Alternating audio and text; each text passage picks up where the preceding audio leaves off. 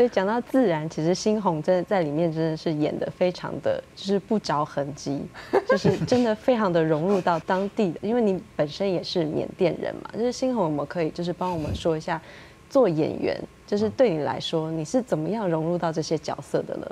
那其实，在拍片现场，我自己就是做制片的东西嘛。那呃，要演戏的时候。可能就是自己深呼一口气哈，两三秒，好进去演戏的。演完自己没自己的戏了，出来就是看他们剧组需要什么，还有需要什么这样子。对，就像一个制片一样，他们需要什么我去补足他。那你需要个演员好，你需要什么角色我去演。我就把这个缺口补平。嗯。那他也知道怎么用我吧？可能就是说，那在导演的过程中，他也就觉得很顺，我自己演起来也没有什么特别觉得。很大的一个演戏上的困障碍啊，或什么都没有，就是真的就是天生就是很适合演戏的。就他们需要什么补足他们的缺，就马上补足他们的需求 这样子。两位做演员啊，一定就是还有就是觉得自己演演技或者是做演员还可以再精进，还可以再挑战的地方。应该就是如果是我的话，可能就是我觉得随缘哎，看之后会遇到什么样的剧本或什么样的角色。嗯，但是呃。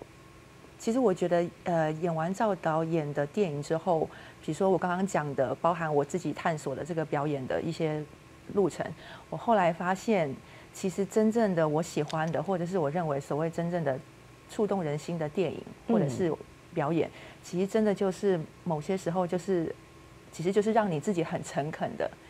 呃，去理解那个角色，很诚恳的跟你当下所接触的那些，比如说土地、人、事物，你去理解，并且你有同理心，然后你再加上你自己的过去的一些曾经类似的背景，然后把两个综合在一起，嗯，然后在当下就是就是一个很真诚、很很诚恳的一个呈现，其实就是这么简单，可是他却必须要花很多的努力跟力气，你才可以。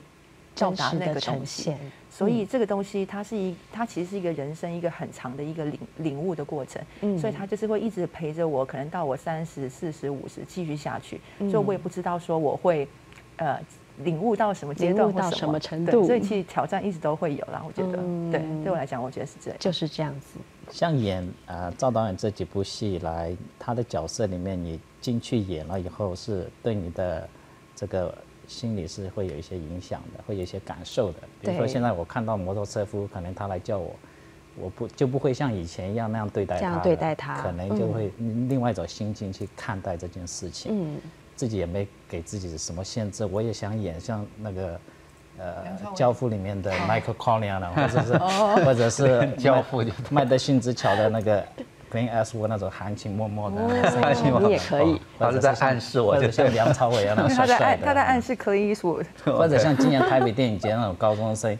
我也可以去演，但是说 就看你受得受不受得了，就看观众受不受得了，看看观众受不受得了，让他演高中忍耐力要很好。刚刚可是也有讲到说，就是这个表演其实是根植在一个真实的基础上。其实赵导演你的作品，因为大家都会讲说你是一个写实主义的美学。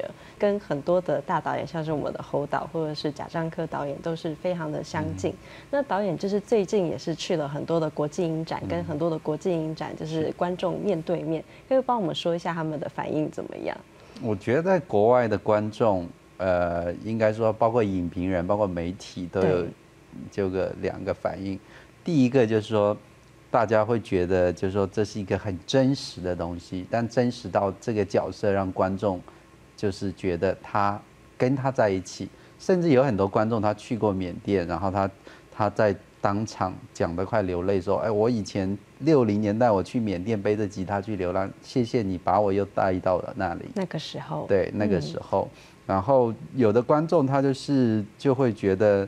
这样的影片对他来说，他不觉得它是一个电影，他觉得他是在跟他们一起生活，然后但是戏剧张力却很强。嗯，那大多数的很多影评人，大家就觉得这个电影它好像是呃亚洲猴岛或是早期的一些导演的一些风格，但是它的故事性又很强。对，就比如说早期导演的风格，侯导他们的风格，就是说它故事性不外显。不明显。嗯，那我们的这种像《冰毒》这样的电影，那故事性很明显，起伏其实很大的，一步一步推向高潮。它比较不是这种若隐若现的剧情。我觉得这是影评人跟观众比较两方面的看法。嗯，那我自己来看，我觉得整个故事还是其中的一个根本，就是说，其实所有的电影跟故事都是要跟观众沟通。然后大家透过这样的电影，一定是可以找到他自己的情感，或他自己的乡愁，或他自己从甲地移动到乙地，为了生活又回到乙地甲地去跟自己的家人相处，某方面的遗憾，因为工作，都是在讲这样的故事。对，我觉得全世界的观众会给你惊喜，那些惊喜是他的感情面去共鸣的，而不是你给他的。我觉得导演我们只能做一半。跟你讲了故事，嗯，那你自己对这个故事有你的连接跟你的体会，嗯，那最后我还是想请三位帮我们说一下，就是冰毒跟海上皇宫，你特别希希望就是推荐的地方在哪里，好不好？我觉得海上皇宫就是一个记录了整个台湾，就是说虽然是一艘船，但透过这艘船记录了台湾在经济最起飞的时候，到最后经济稍微。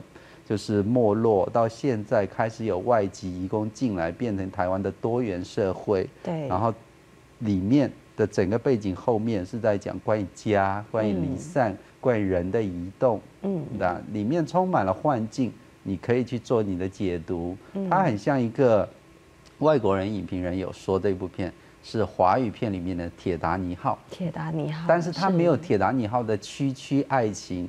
但是里面的幻觉跟带你游览那一艘船，跟那个意境梦境，就是铁达尼号爱情故事。那冰毒其实就是一个，我觉得就是一个以毒品为贩卖，两个异乡人，两个寂寞的人结合在一起的爱情故事，也是爱情故事。所以对我来说，它就是一个爱情故事。只是观众进来看，可能你只要放开心胸进来体会不同的。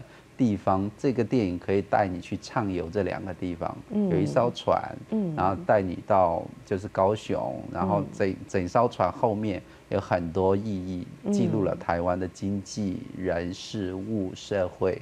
然后冰毒把你带到缅甸，让你看就是缅甸的状况，但是那些状况、那些爱情是你心有所共鸣的，就是你的在讲你的连接的。嗯，冰毒我觉得是一个。让你感觉到生活味道的一部电影，然后它也会让你看上瘾的一部电影。嗯。然后《海上文公司》你看了后，你可能会看到另外一个世界的感受的一个电影。嗯。我觉得是他们两个很大的不一样的地方。嗯。然后比较推荐的话，当然是里面有一场戏是，呃，同样个舞曲。对。但是呢，我们两个的表演的这个角色是。完全是完全不一样的，完全不一样的，会你会看到一些不一样的，应该。就大家应该要好好的、很仔细来看，当中是有很多不同不同的诠释这样子。嗯，今天非常感谢三位帮我们分享芯片，谢谢三位，谢谢。谢谢。